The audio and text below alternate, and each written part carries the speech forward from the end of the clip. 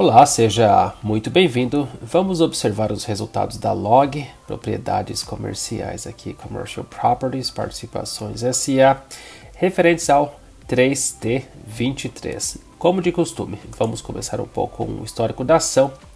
Ela aqui, no começo do ano, abriu o pregão aí em janeiro em R$ 15,39.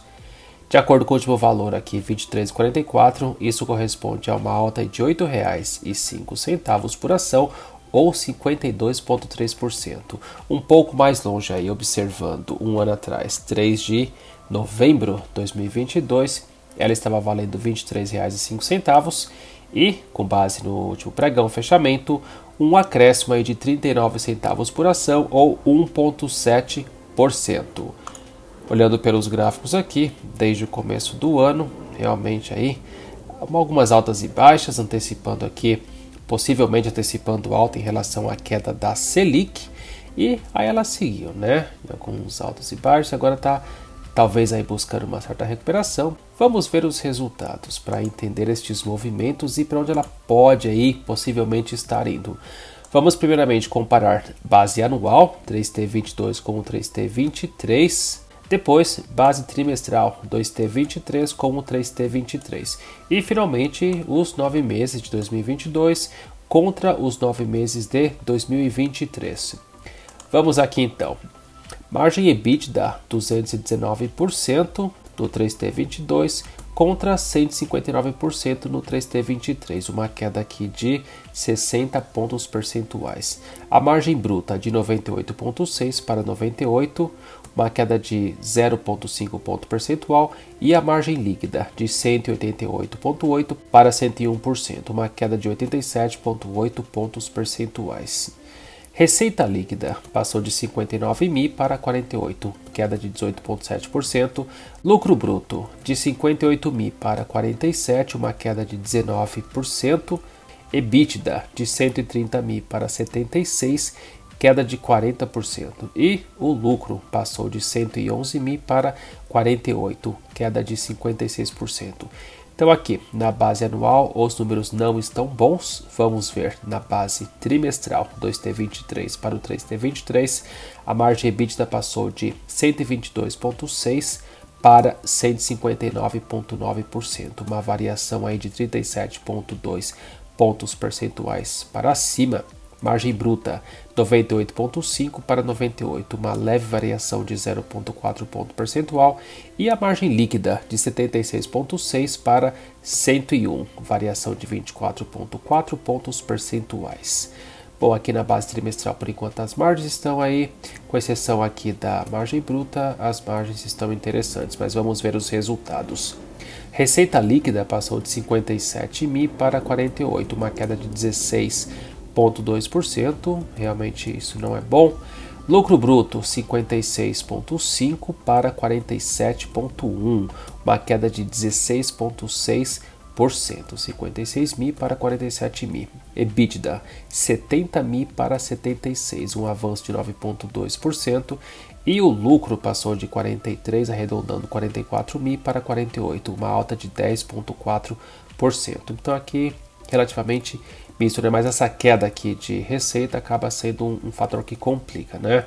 Queda de receita é sempre vista com bastante preocupação pelo mercado. Queda de receita na base anual e queda de receita na base trimestral.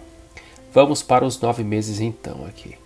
Margem EBITDA passou de 262 para 116, queda de 145 pontos percentuais. A margem bruta passou de 98,6 para 98,4, praticamente estável. Margem líquida 230,7 para 70,5, variação de 160 pontos percentuais ou uma queda de 69,4%. Já na receita líquida, 154 mil para 172, um ganho de 11,8% nos nove meses. Interessante em contrapartida aqui com a base do 3T22 com o 3T23 base anual havia sido negativo e aqui também a variação da receita havia sido negativa na base trimestral. Porém aqui na, nos nove meses, considerando nove meses 2022 com 2023, houve uma variação positiva de 11,8%. Interessante, bom. Lucro bruto, 152 mil para 169, um ganho de 11,7%. EBITDA houve queda de 404 para 201, queda de 50%. E o lucro passou de 355 para 121. Então agora é importante ficar de olho nestes números, observar os gráficos, qual é a tendência aqui. No médio, curto prazo também, uma semana aqui. Então a, a Selic aí, né, teve queda da Selic, o governo americano resolveu manter as taxas de juros, então isso cria uma certa euforia no mercado, né, e as ações se comportam aí de forma muito empolgada, né? elas vão subindo e mesmo aquilo que não está muito bom no momento acaba subindo.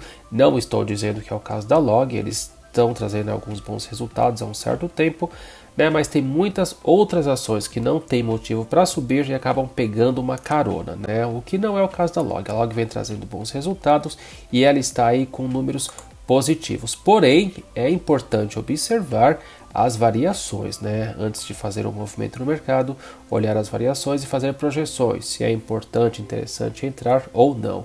E os números vão dizer isso, tá? São os números que geram os candles e não os candles que vão ditar aí para onde as ações estão indo. Lucro por ação aqui, no 3T23 ficou em 48 centavos. Nos últimos 12 meses, R$ 1,63, valor da ação R$ 23,44, um PL aqui, últimos 12 meses de 14,39. Não está alto, porém eu acho mais interessante um PL abaixo de 10. Ainda mais que houve uma queda aqui no lucro, então é importante ficar de olho nisso, ok? O PVP 0,65, isso é uma coisa interessante em relação a essa empresa, porque o valor patrimonial por ação é R$ 36,13 e ela está valendo R$ 23,44, ela está descontada, né? Porém, para esse desconto valer, o lucro precisa continuar subindo e a receita tem que manter estável e subir também, ok? Aqui a receita vem crescendo nos nove meses, comparando os nove meses, porém houve uma queda no lucro, né? Então é importante que o lucro também suba para justificar esse desconto e uma possível entrada, ok? É importante que os lucros cresçam também. Número de ações no 2T23 para o 3T23 permaneceu o mesmo, valor de mercado 2.3 bi. Dividendos últimos 12 meses 3,9%, resultado financeiro líquido foi negativo em menos 32 mil e o lucro prejuízo acumulado está positivo aqui e a alavancagem está em 3,5, ok? É uma alavancagem relativamente alta. Vamos observar aqui pelo relatório, porque tem uma, uma observação que eles colocaram aqui, a dívida líquida e a dívida líquida ajustada. Aqui no cinza, dívida líquida EBITDA está em 3,5 em setembro de 2023, aqui bem de acordo com o cálculo, 3,5 Porém, se nós observarmos aqui a dívida líquida ajustada aqui, ela está em 1.2, ok? Mas eu estou considerando essa aqui 3.5, mas aí você pode observar pelo relatório qual que é a diferença aí, caso você queira mais detalhes. É isso que eu tenho para falar em relação a log. Se você gostar, por favor, curta o vídeo, deixe o like, inscreva-se no canal. No mais, desejo muita boa sorte, sucesso a todos e até a próxima.